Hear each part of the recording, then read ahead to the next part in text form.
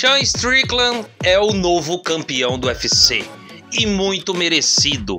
Ele fez uma estratégia impecável e a gente vai explicar qual foi essa estratégia.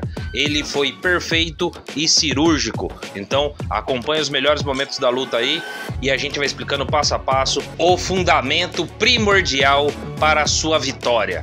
Então, fica ligado.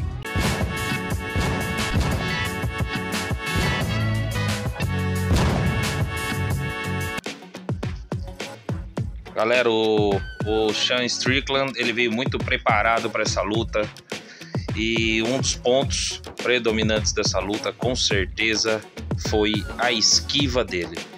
Ele é um cara totalmente, totalmente doente por sparring e ele ama boxe. Ele bem disse no, no pós-luta lá que ele é um cara que é apaixonado, ele adora ir para academia e fazer sparring.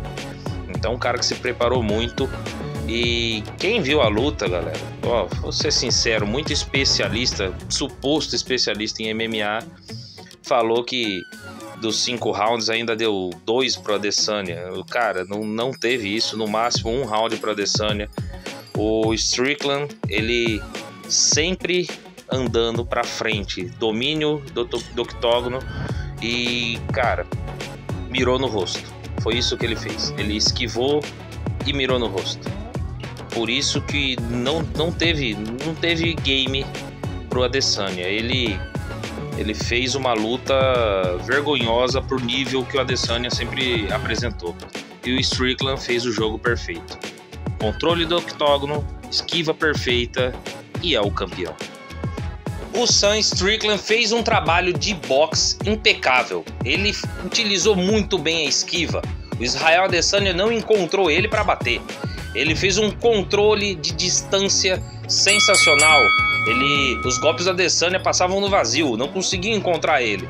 Então, com essa técnica de esquiva apurada, mas o controle de distância e indo sempre para frente, foi a estratégia perfeita para combater um kickboxer que era até então perfeito, que é o Israel Adesanya.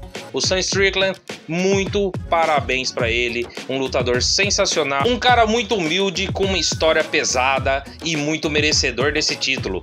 Ele mereceu em todos os quesitos. Muito bem-vindo, campeão Sam Strickland. Galera, esse é o vídeo de hoje. Meu muito obrigado a todos que estão acompanhando o canal. Fiquem todos com Deus até o próximo vídeo. Meu muito obrigado e tchau.